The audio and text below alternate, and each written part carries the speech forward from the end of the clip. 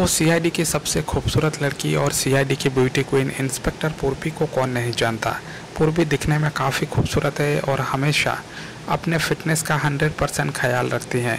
Action का scene हो या फिर अपराधियों को सलाखों के पीछे पहुँचाने का सीन हो इंस्पेक्टर पूर्वी हर सीन में काफ़ी तेज़ तरार नज़र आते हैं। आज के इस वीडियो में हम बात करेंगे सीआईडी के सीज़न टू में पूर्वी की एक फ़ाइट के बारे में।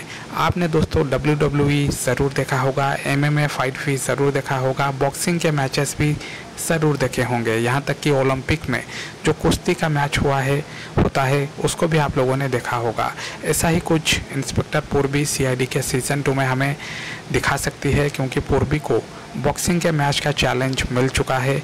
बाइकर्स गैंग की एक तेज़ तरार लड़की जो कि बॉक्सिंग चैम्पियन है, उसने पूर्वी को आमने सामने लड़ाई का चैलेंज दिया है और उसका ये कहना है कि अगर पूर्वी जीत जाती है तो वो मुंबई से बिना चोरी किए निकल जाएँगे और वापस कभी लौट कर नहीं आएँगे।